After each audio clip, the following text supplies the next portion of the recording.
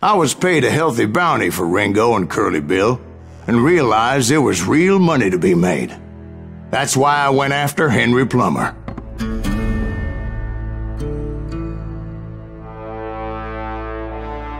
Now, wasn't he the sheriff who augmented his income by shaking down miners and robbing gold shipments? That's the one. Oh, yeah, I remember him. He ran that gang of thieving outlaws called the Innocents. So it's true that you went toe to toe with him? Indeed I did, son. Indeed I did.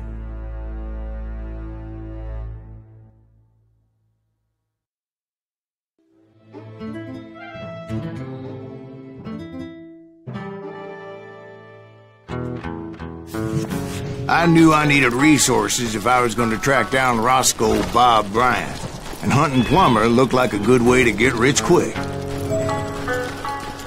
As the local vigilantes exposed him as the leader of the bandits, and put a generous price on his head. Plummer rallied his gang to plunder one last gold mine before making their escape, and that's where I thought I'd find him. As my late father pointed out to me more than once, God made men. Samuel Colt made them equal.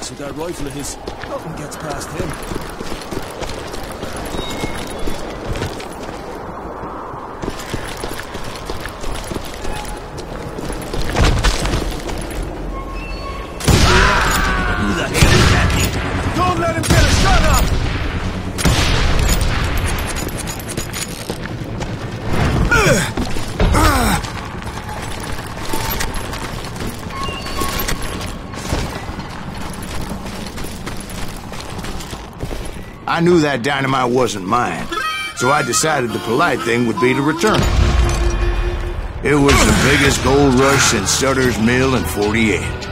Unfortunately, prospectors weren't the only ones drawn to those riches. There were thieves and killers, robbing travelers and hijacking gold shipments.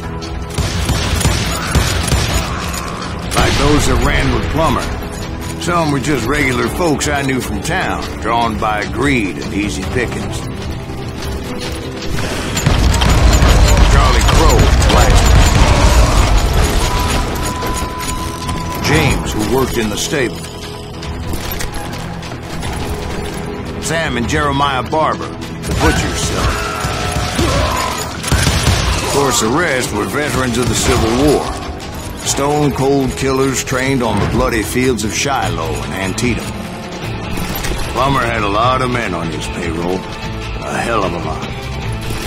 That son of a bitch pretended to protect the public with one hand while stealing them blind with the other. He set up a defensive perimeter which I had no idea how to breach. Dangerous, desperate individuals. I was outnumbered and in way over my head but I was too damn stubborn and stupid to realize it. I thought I was some kind of hero. I finally made it past and headed on to meet my destiny. But first, I had something I needed to figure out. I had a few ideas on how to get into that mine, but once I made my decision, I knew there was no turning back. So my first thought was to enter the nearest mine portal. I saw an entrance. Made sense. It was the quickest way in, but that also made it more dangerous. As there would undoubtedly be enemy pickets posted along the way.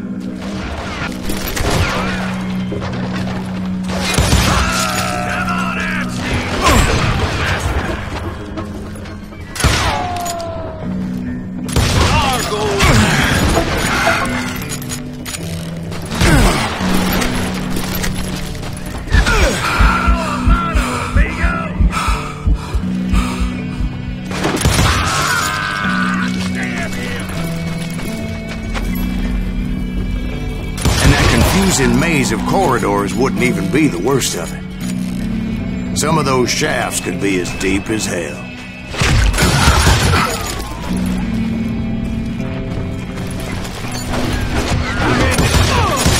Single stumble or misstep can easily end in a deadly plunge to oblivion.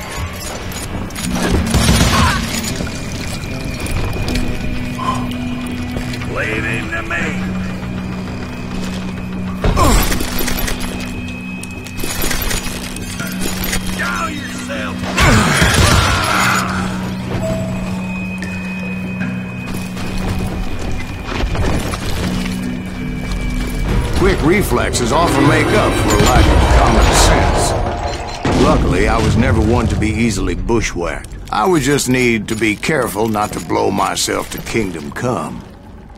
Eddie! With all that gun... You can run!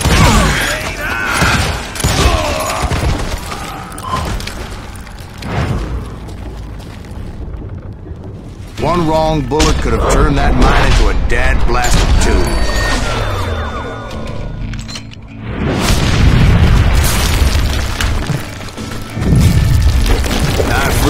Admit that my plan of attack was not just moronic, but clearly insane.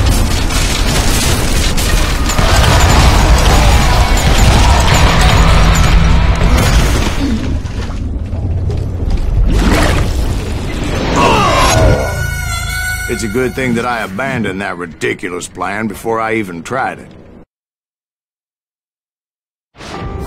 Instead, I spotted a ladder, way into the mine from the opposite side.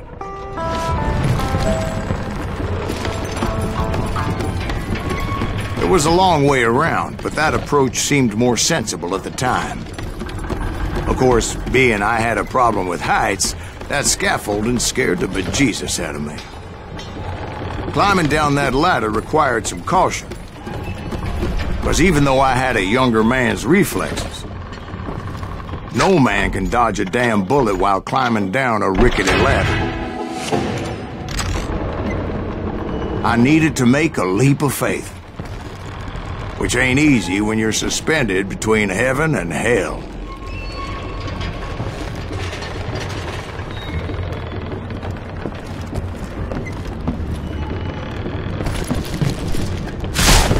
I was determined not to give up, As Sheriff Plummer seemed quite the despicable character. When the vigilantes discovered what the sheriff was up to, people were outraged. That 10,000 they put on his head would go a long way to helping me find old Bob.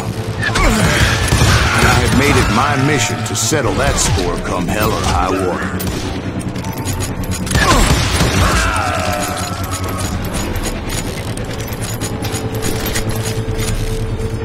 But first, I would have to make a choice. Take the elevator or climb the ladder.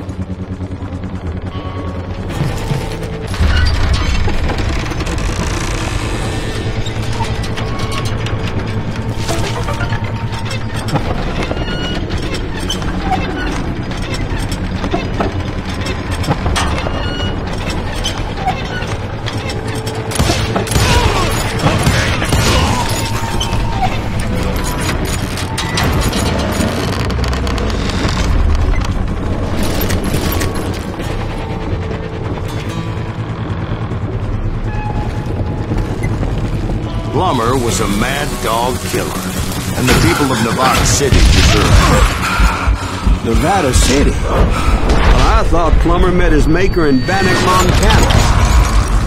Right, well, he was the sheriff of both places at one time or another, but that's neither here nor there. The point was, taking him down would save a lot of lives, including my own.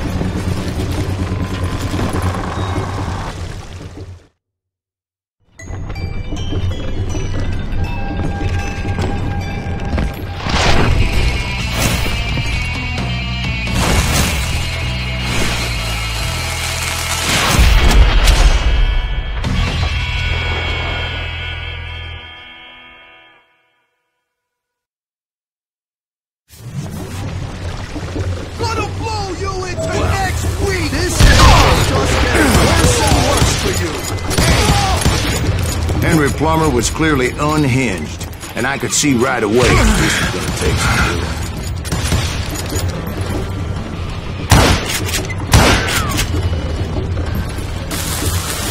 I got a lot more dynamite than you! What do you think you're doing? That is smart!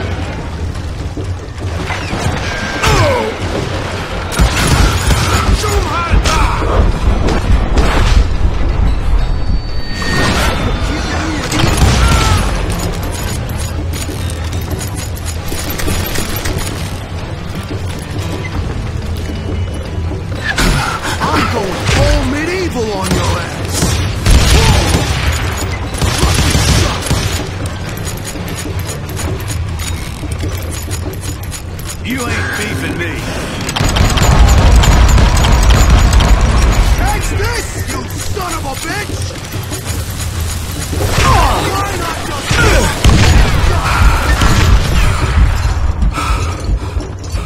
You can shoot, but can you aim? Wanna roll you into next? So that's how Henry Plummer died. Him and his crew were worth their weight in gold. And now, I was officially a bounty hunter.